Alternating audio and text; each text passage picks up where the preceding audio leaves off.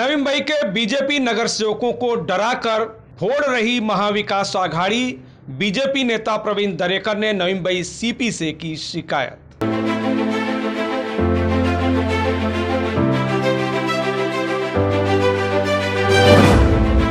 BJP नेता प्रवीण दरेकर ने आज महाविकास आघाड़ी नेताओं पर नवी मुंबई के बीजेपी नगर सेवकों को डरा धमकाकर पार्टी छोड़ने के लिए मजबूर करने का संगीन आरोप लगाया। उन्होंने पुलिस आयुक्त विपिन सिंह से मुलाकात की और स्थानीय पुलिस के ज़रिए दिलाई जा रही धमकियों को तत्काल रोकने की मांग की। विधान परिषद में नेता विपक्ष प्रवीण दरेकर ने खुला आरोप लगाया कि शिवसेना और एनसीपी स्थानीय पुलिस बल के ज़रिए ईश्वर नगर के बीजेपी नगर सेवक राम आशीष यादव और गणेश नाइक समर्थकों को पार्टी छोड़ने के लिए मजबूर कर रही है। उन्होंने कहा कि भाजपा नगर सेवकों को धमकी दिलाई जा रही है कि महाविकास आघाड़ी में शामिल हो जाओ, वरना जेल जाओगे। नई मुंबई महानगर पालिके का राजकीय वातावरण दिनों दिन खराब हो जा रहा है, दहशत का हो रहा है। गौते और वैभव गायकवाड़, इनके ऊपर दबाव लाके प्रवेश पार्टी में कर लिया है।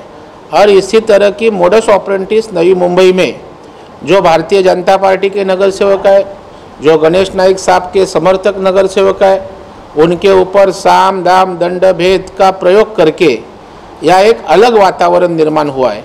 और लोगों के बीच एक परसेप्शन गया है कि यहाँ सरकार पुलिसी बल का वापर करके इसी तरह में उनको सपोर्ट उनको बढ़ोतरी दे रही है तो शिवसेना और राष्ट्रवादी पार्टी है। सरकार का, पुलिस बल का, प्रशासन का वापर करके भारतीय जनता पार्टी और नाइक समर्थकों के लोगों के बीच इसी तरह का वातावरण करने का प्रयास कर रहे स्थानीय नेता एवं पूर्व सांसद संजीव नाइक पूर्व महापौर सागर नाइक के साथ पुलिस आयुक्त को शिकायत देने पहुँचे प्रवीण दरेकर ने कहा कि महाविकास आघाड़ी साम दाम दंड भेद का तरीका अपना रही है। इसलिए दीघा के नवीन गौते और वाशी के दिव्या वैभव गायकवाड़ जैसे नगर सेवकों को शिवसेना और एनसीपी में जाना पड़ा। उन्होंने कहा कि ईश्वर नगर के राम आशीष यादव के साथ भी यह तरीका अपनाया जा रहा है। उन्होंने कहा कि राम आशीष यादव पर फर्जी पुलिस केस और हमले हो सकते हैं, इसलिए हमने पुलिस प्रोटेक्शन देने की मांग की है। राम आशीष यादव भी डर गया है। क्योंकि यह लोकशाही में इसी तरह का डर का, भय का वातावरण अच्छा नहीं। इसलिए राम आशीष यादव को लेके हम अभी यहाँ आए थे। उन्हें पुलिस संरक्षण की मांग की है। मेरे ऊपर हल्ला हो सकता है। इसी तरह का भय उसके मन में है। तो इसलिए पुलिस के, यहाँ के प्रमुख जो हमारे विपिन सिंह हैं, उनको मिलके ये सारी चीज़ सविस्तर चर्चा की।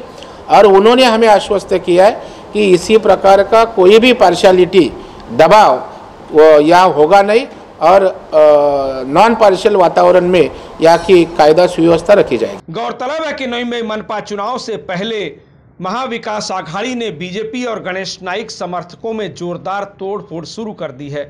दीघा में नवीन गौते के जाने के बाद ईश्वर नगर में सर्वाधिक जनाधार वाले राम आशीष यादव हैं, जिन्हें फोड़ने की तैयारी है। यादव ने कहा कि उनके खिलाफ पहले जो भी केस दर्ज हुए हैं, सब राजनीतिक हैं। इस बार भी ऐसी ही साजिश चल रही है, इसलिए हमें यह पहल करनी पड़ी है। जितनी केसेस हमारे को हुई है, जब चुनाव आते तभी होते हैं। और उसको वेरीफाई करते नहीं वेरिफिकेशन हो तो एक भी केस हमारी रहेगी नहीं। हमारे कार्यकर्ता पच्चीस पच्चीस कार्यकर्ताओं को फंसा देते इनकी ये टहली बनी हुई है। तो अपने को ऐसा लगा कि होते परिवार में ऐसा हुआ। वहाँ बाहर मार्केट में सो रहे कि केस के डर से होते भाग गए। तो हमने कहा कि हमें प्रोटेक्शन मिल जाए, हम अपनी सेफ्टी तो रखें, क्योंकि आज के युग में महिलाओं का ग्रुप ऐसा बना दिया गया है कि कभी भी किसी को फंसा दे। अब हमारा काम तो हमने किया है, पुलिस का काम पुलिस करेगी। फ़िलहाल महानगर पालिका चुनाव से पहले ही महाविकास आघाड़ी के दलों और बीजेपी के बीच नया राजनीतिक संघर्ष प्रारंभ हो गया है। Bureau report, TV one India. Latest update और खबरों के लिए टीवी वन इंडिया को सब्सक्राइब करें और नोटिफिकेशन पाने के लिए बेल आइकॉन को दबाना मत भूलें।